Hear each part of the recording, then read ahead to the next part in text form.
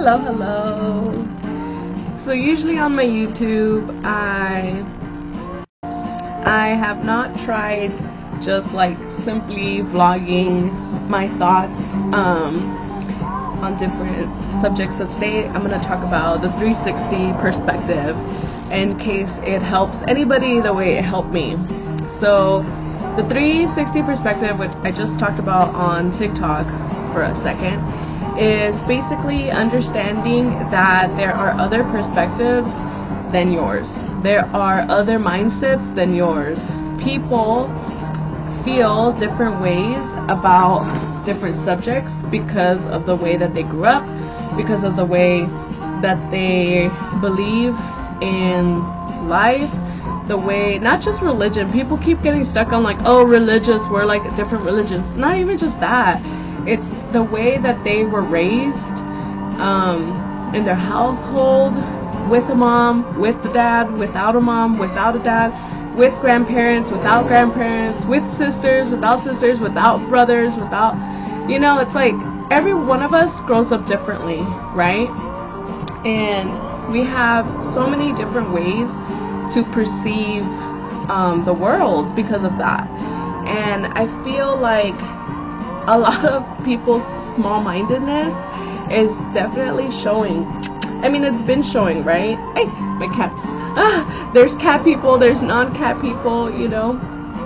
And so there's always people that are going to be like different than you. And I made a video in high school about tolerance and we we actually in 2008 we turned it into the Museum of Tolerance with other uh, high schools in LA County and it was really great. There was so much good um, response to it.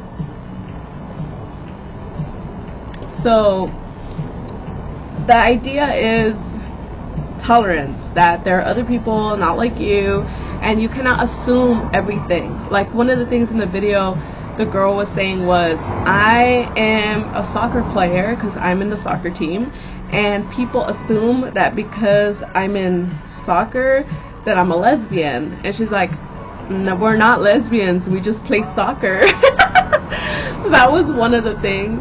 Um, another two girls, specifically with women. You know, people, a lot of people feel like see women, see women as very like one way, whereas a dude can have hobbies. He can have more than just like friends and a job. Women, for whatever reason they're only for one thing. And that's really what I want my channel to be about. I want it to be more toward like for women and for men to understand women a little bit better. Um, I'm sorry, the lighting, I'm like right in front of the window and it's like so bright right now. Anyway, it's really distracting me.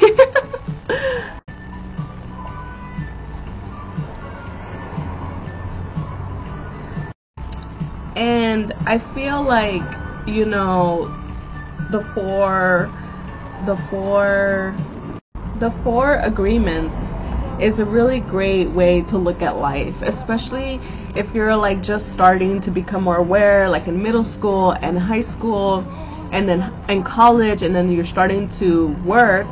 You know, for people who are like brand new and going into the world, um, the four agreements are something that we should all really take into account. Um, you know, first is don't take thing, don't take anything personally. These are in whatever order. Um, this I'm just doing it like the way that I has helped me the most. So, don't take anything personally. Uh, nothing others do is because of you. What others say and do is a result of their own dream or perception of the rules. We all make the rules about how things should be, but when you are immune to the opinion and a- a- actions of others, you won't be a victim of needless suffering. Um, what's amazing is that it really does coincide with Buddhism beliefs as well. Uh, Buddhism really helped me in my uh, journey really let go of things that I didn't need to hold on to anymore. And so my cats keep checking on me. Um, don't take things personally. Like, it's really hard for people not to take things personally. And I'm not saying, like, let it go when someone's dissing you. I'm not saying, like, you know, forgive every person who's done like shit to you. That's not what I'm saying. I'm saying like when it comes to certain things, like let's say you're a cashier and like that was one of my first like five jobs is I was a cashier at like Macy's, I was a cashier at a grocery store, another grocery store and then like Kmart. So I was a cashier for a while and um, I remember one incident where this lady was super fijada. She really was like looking at when I was, you know, um, scanning her items, and I was just kind of like, "What is up with you?" Like I was getting really like weirded out because she was in my space. I'm over here just trying to scan her stuff. And she's like, oh, hey, you know, I'm just checking to make sure nothing gets scanned twice because sometimes that happens. And I was just like, oh, okay. And I was 16, 17 at the time. And I started to get, I started to take it really personal. I started to get really bothered that she was up in my face, that she was like accusing me of doing my job wrong, you know. Like, I really started to get offended. Like, I'm not gonna lie, I got really offended. And I think they could see it in my face because they started, like, it was a daughter and a mom. And the mom was a lot older, she was like in her 50s. And the daughter was like in her 30s and then the daughter was like, "Oh, sorry, she's just trying to check, you know." And I was just looking at them like, "Okay." And then they're like, "Yeah, because you know some people make mistakes, and it's not like you don't know how to do your job." And I was just kind of like, "Uh huh." And I just kept getting, "Hey, more and more, stop it!" I just started getting more and more offended until finally I acted in a really bad way personally. I was giving her the change and I just like dropped the change on on the table because I was just like get the change then yourself. And that was me being petty and being rude that and I was taking it personal. Like that had nothing to do with, you know, maybe she's had situations that that has happened to where uh cashier has made the mistake of like double you know, passing, scanning something, and then charging them, and then they realized and they had to go back. So she was just doing her thing because of what she had been to through, which honestly had nothing to do with me. So right there, the four agreements, like don't take anything personally, right? And the idea is that that's her perspective, that's her the way what she was going through, right? What she has been through in her experience. And since no one had acted like that with me before, everyone seemed chill. Like when I was a cashier, nobody really looked at me like that or treated me like that. I was getting offended because to me that was a new, a new way to um, experience that. So um, that's the first one. Don't take anything personally. I mean, even like in dating, I know people get take things real personal when it comes to dating. But even in dating, like just get to know people, see where they're at, okay, I understand, like, this is where you're from or whatever, this is where you're coming from, you know, and when you start to understand that the way people grow up affects the way they think when they're older, like, there's a direct correlation between I went through this and that's why I act like this. My mom is like this and that's why I am like this. My dad is like this, my guardian, whatever and so you start to understand people a lot better um, and that's what i'm trying to make these videos like trying to make sense of the people around you and someone who now I, I think i'm on on the spectrum my son is on the spectrum it has helped me understand and just go through different uh, scenarios and be more compassionate. Like I said, Buddhism really helped me be more compassionate. And you could be whatever religion, whatever it is, as long as you understand that there are other people not like you and to extend that compassion to other people. Because sometimes, look, sometimes people are crazy because they're frustrated.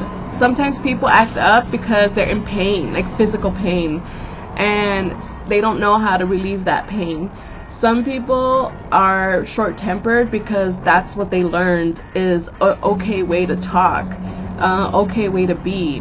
Their mom, their dad, their guardian, whatever, taught them to be short tempered because they were short tempered with them as children.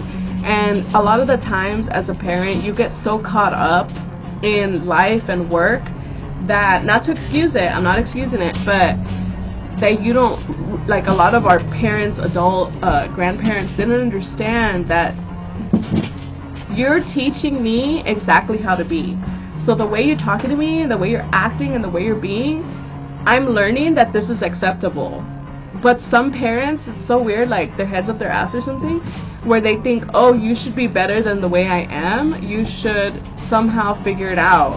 And it's like how am i going to figure it out? You're the one teaching me how i am. You're the one teaching me how to be. I can't figure it out by myself you know? Like it doesn't make sense. So this um you know self improvement you know the other one is be impeccable with your word Speak with integrity, say only what you mean, and avoid using words to speak against yourself or to gossip. Use the power of your word to offer love, never use it to cause fear or pain in another person. I can make a whole nother video on that, but number three, don't make assumptions. Find the quiet courage to ask questions and express what you really want.